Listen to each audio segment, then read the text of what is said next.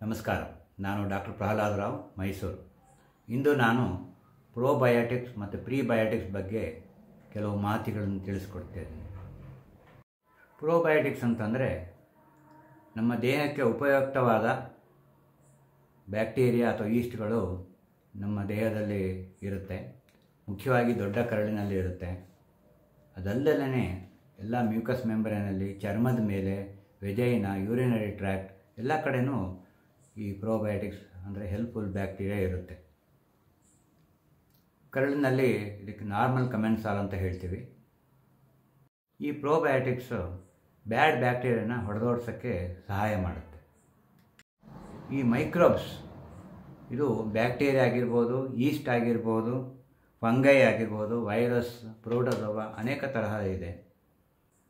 ಈ ಮೈಕ್ರೋಬ್ಸು ಪ್ರತಿಯೊಬ್ಬ ಮನುಷ್ಯನಿಗೆ ಯೂನಿಕ್ ಆಗಿರುತ್ತೆ. ಅಂದರೆ ಒಬ್ಬರಿಗೆ ಇದ್ದ ಹಾಗೆ ಇನ್ನೊಬ್ಬರಿಗೆ ಬ್ಯಾಕ್ಟೀರಿಯಾ ಫ್ಲೋರಾ ಇರಲ್ಲ. ಅವರ ತಿನ್ನೋ ಆಹಾರದ ಮೇಲೆ ಇರೋ ದೇಶದ ಸ್ಥಿತಿ ಮೇಲೆ ಇದು ನಿರ್ಣಯವಾಗುತ್ತೆ. ಮೈಕ್ರೋಬ್ಸು ಪ್ರೋಬಯೋಟಿಕ್ ಅಂತ ಕರೆಸ್ಕೊಳ್ಳೋಕ್ಕೆ ಅದು ನಾವು ಆಹಾರ ತಿಂದ ತಕ್ಷಣ ಅದು ದೇಹದಲ್ಲಿ ಇರೋ ಶಕ್ತಿ ಹೊಂದಿರುತ್ತೆ. ಮನುಷ್ಯನ ದೇಹದಲ್ಲಿ ಐಸೋಲೇಟ್ ಆಗಿರುತ್ತೆ. ಮನುಷ್ಯನಿಗೆ ಉಪಕಾರ ಮಾಡುತ್ತೆ, ಮತ್ತು ಯಾವುದೇ ತರಹ ದುಷ್ಪರಿಣಾಮ ಯೂಶಲಿ ಬೀರಲ್ಲ ಇದು. ಹಾಗಾಗಿ ಇದನ್ನು ಪ್ರೋಬಯೋಟಿಕ್ಸ್ ಅಂತ ಹೇಳ್ತೀವಿ. ಈ ಪ್ರೋಬಯೋಟಿಕ್ ನಮ್ಮ ದೇಹದಲ್ಲಿ ಕರುಳಿನಲ್ಲಿರುತ್ತೆ, ಚರ್ಮದ ಮೇಲೆ ಇರುತ್ತೆ ವಿಜಯನದಲ್ಲಿರುತ್ತೆ ಯೂರಿನರಿ ಟ್ರ್ಯಾಕ್ಟಲ್ಲಿರುತ್ತೆ ರೆಸ್ಪಿರೇಟರಿ ಟ್ರ್ಯಾಕ್ಟಲ್ಲಿರುತ್ತೆ ಈ ಪ್ರೋಬಯೋಟಿಕ್ಸ್ ಮೊದಲನೇ ಕೆಲಸ ಏನಂತಂದರೆ ಇದು ಹೆಲ್ತಿ ಬ್ಯಾಲೆನ್ಸನ್ನು ಮೇಂಟೈನ್ ಮಾಡುತ್ತೆ.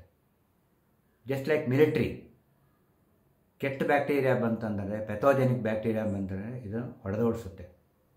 ಮತ್ತು ಇದು ಗಟ್ ಲೇಯರ್ಸಲ್ಲಿ ಫ್ಯಾಟಿ ಆ್ಯಸಿಡ್ ಚೈನ್ ಫಾರ್ಮ್ ಆಗಿ, ಪ್ರೊಟೆಕ್ಟಿವ್ ಲೇಯರ್ ಆಗಿ ಗಟ್ ಇಮ್ಯುನಿಟಿನ ಪ್ರೊಟೆಕ್ಟ್ ಮಾಡುತ್ತೆ. ದಟ್ ಈಸ್ ಗಾಲ್ಟ್ ಅಂತ ಹೇಳ್ತೀವಿ. ಗಟ್ ಅಸೋಸಿಯೇಟೆಡ್ ಲಿಂಫಾಯ್ಡ್ ಪ್ರೊಟೆಕ್ಟ್ ಮಾಡುತ್ತೆ. Skin associated lymphoid tissue, SALT, MALT M A L T mucus associated lymphoid tissue, ಇದನ್ನೆಲ್ಲ ಪ್ರೊಟೆಕ್ಟ್ ಮಾಡುತ್ತೆ. ಇದು ಕೆಲವು ವಿಟಮಿನ್ಸ್ಗಳನ್ನು ಕೂಡ ತಯಾರು ಮಾಡುತ್ತೆ ದೇಹದಲ್ಲಿ.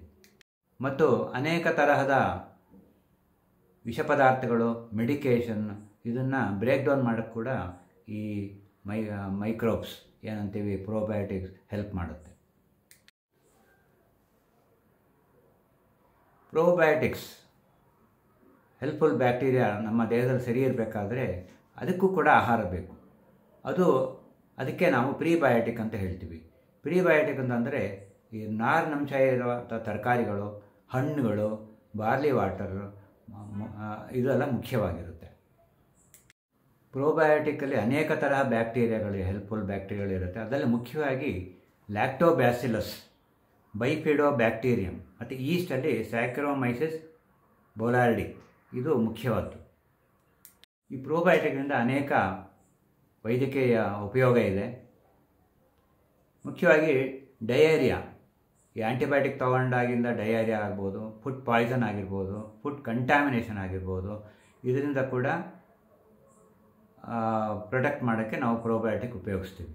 ಮತ್ತು constipation irritable bowel syndrome inflammatory bowel disease lactose intolerance urinary tract infection gum disease upper respiratory infection ear infection common cold sinusitis ಮಕ್ಕಳಲ್ಲಿ, ಎಳೆ ಮಕ್ಕಳಲ್ಲಿ ಸೆಪ್ಸಿಸ್ ಇನ್ಫೆಂಟಲ್ ಸೆಪ್ಸಿಸ್ ಇದಕ್ಕೆಲ್ಲ ಪ್ರೋಬಯೋಟಿಕ್ ಬಹಳ ಉಪಯೋಗ ಆಗುತ್ತೆ. ಪ್ರೋಬಯೋಟಿಕ್ ಫುಡ್ಡಿಂದ ಬರ್ಬೋದು, ಅನೇಕ ತರಹ ಪಾನೀಯಗಳಿಂದ ಬರ್ಬೋದು ಕ್ಯಾಪ್ಸುಲಿಂದ ಬರ್ಬೋದು ಪೌಡ್ರ್ ಫಾರ್ಮಲ್ಲಿರುತ್ತೆ tonic ಫಾರ್ಮಲ್ಲಿರುತ್ತೆ fermented food like yogurt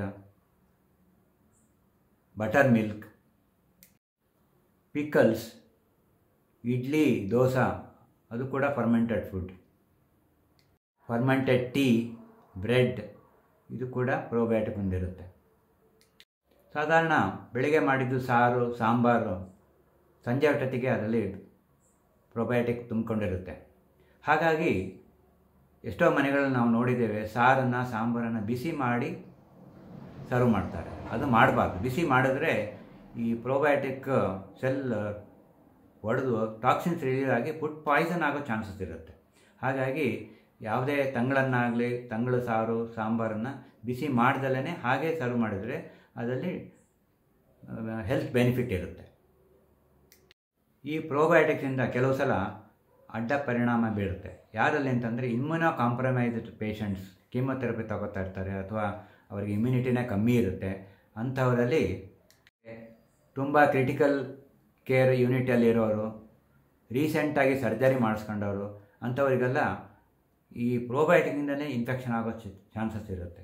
ಹಾಗಾಗಿ ಭಾಳ ಕೇರ್ಫುಲ್ಲಾಗಿ ಉಪಯೋಗಿಸ್ಬೇಕಾಗುತ್ತೆ.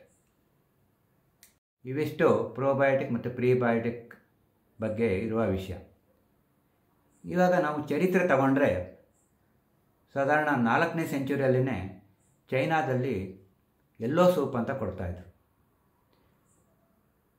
ಎಲ್ಲೋ ಸೂಪ್ ಅಂತಂದರೆ ಯಾರಿಗೆ ಕೊಡ್ತಾಯಿದ್ರು ಅಂದರೆ ಆಗ ತಾನೇ ಹುಟ್ಟಿದ ಮಕ್ಕಳಿಗೆ ಕೊಡ್ತಾಯಿದ್ರು ಎಲ್ಲೋ ಸೊಪ್ಪು ಅಂದರೆ ಏನು ಅಂತಂದರೆ ತಾಯಿಯ ಮಲನ ಡೈಲ್ಯೂಟ್ ಮಾಡಿ ಒಂದೆರಡು ಡ್ರಾಪ್ಸನ್ನ ಇನ್ಫಂಟಿಗೆ ಕೊಡ್ತಾಯಿದ್ರು ಹಾಗಾಗಿ ಅದಕ್ಕೆ ಪ್ರೋಬಯೋಟಿಕ್ ಬರ್ತಾಯಿತ್ತು yellow soup is nothing but faecal slurry ಇದನ್ನು ಚೈನಾದಲ್ಲಿ ಜೆ ಹೋಂಗ್ ಅನ್ನೋವನು ಫುಡ್ ಪಾಯ್ಸನ್ಗೆ ಉಪಯೋಗಿಸ್ತಾ ಇದ್ದ. ಮತ್ತು ಡಯಾರಿಯು ಕೂಡ ಉಪಯೋಗಿಸ್ತಾ ಇದ್ರು. ಇನ್ನು ನಮ್ಮ ದೇಶದ ಚರಿತ್ರೆ ತಗೊಂಡ್ರೆ ಆಯುರ್ವೇದದಲ್ಲಿ ಪಂಚಗವ್ಯ ಅಂತ ಹೇಳ್ತೀವಿ. ಹಸುವಿನ ಐದು ಉತ್ಪನ್ನಗಳನ್ನು ಬೆರೆಸಿ ಮಾಡುವಂತಹ ಒಂದು ಸಿರಪ್ ಥರ ಅಂದರೆ ಇದರಲ್ಲಿ ಗೋಮಯ, ಗೋಮೂತ್ರ ಹಾಲು, ಮೊಸರು ಮತ್ತು ತುಪ್ಪ. ಇದನ್ನು ನಾವು ಭಾಳ ಡೈಲ್ಯೂಟೆಡ್ ಮಾಡಿ ಒಂದು ಎರಡು ಚಮಚದಷ್ಟು ವರ್ಷಕ್ಕೊಂದ್ಸಲ ಕುಡಿಸ್ತಾರೆ.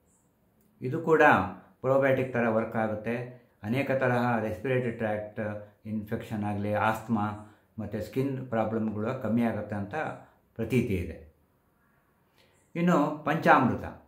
ಪಂಚಾಮೃತದಲ್ಲಿ ಈ ದೇವರಿಗೆ ಅಭಿಷೇಕ ಮಾಡ್ತಾ ಇದ್ದಾರೆ. ಅದರಲ್ಲಿ ಹಾಲು, ಮೊಸರು, ತುಪ್ಪ, ಜೇನುತುಪ್ಪ, ಸಕ್ಕರೆ ಇವೆಲ್ಲ ಮಿಶ್ರಣ ಮಾಡಿ ಕೊಡ್ತಾರೆ. ಈಚೆಚೆಗೆ ಕೆಲವು ಹಣ್ಣುಗಳನ್ನು ಮತ್ತು ದಾಳಿಂಬೆ, ಗೋಡಂಬಿ, ಡ್ರೈ ಫ್ರೂಟ್ಸ್ ಎಲ್ಲ ಹಾಕಿ ಮಾಡ್ತಾ ಇದ್ದಾರೆ. ಇದೊಂಥರ ಪ್ರೋಟೀನ್ ಆಗಿ ಆಗುತ್ತೆ, ಪ್ರೀಬಯೋಟಿಕ್ ಆಗುತ್ತೆ, ಪ್ರೋಬಯೋಟಿಕ್ ಆಗುತ್ತೆ ಥರ ವರ್ಕ್ ಆಗುತ್ತೆ. ಸಾವಿರದ ಒಂಬೈನೂರ ಐದನೇ ಇಸ್ವಿಯಲ್ಲಿ ಬಲ್ಗೇರಿಯನ್ ಫಿಸಿಷಿಯನ್ ಅವನು ಯೋಗರ್ಟಲ್ಲಿ ಲ್ಯಾಕ್ಟೋಬ್ಯಾಸಿಲಸ್ ಬ್ಯಾಕ್ಟೀರಿಯಾ ಇರುತ್ತೆ ಅಂತ ಅಧಿಕೃತವಾಗಿ ಪ್ರಕಟಣೆ ಮಾಡುತ್ತಾನೆ. ಒಟ್ಟಿನಲ್ಲಿ ನಮ್ಮ ದೇಹದಲ್ಲಿ ಪ್ರೋಬಯೋಟಿಕ್ ಚೆನ್ನಾಗಿರಬೇಕು ಅಂತಂದರೆ ನಾವು ಒಳ್ಳೆಯ ಆಹಾರ, ಹಲ್, ಹಣ್ಣು, ಹಾಲು, ತರಕಾರಿ, ಮೊಸರು ಸೇವನೆ ಮಾಡಿ. ಕಲುಷಿತ ಆಹಾರ fast food junk food street food bakery food process food ಆದಷ್ಟನ್ನು avoid ಮಾಡಬೇಕಾಗತ್ತೆ. ಇಷ್ಟು ಹೇಳಿ ಇಂದಿನ ಮಾತುಕತೆಯನ್ನು ಮುಗಿಸ್ತಾ ಇದ್ದೀನಿ. ನಮಸ್ಕಾರ.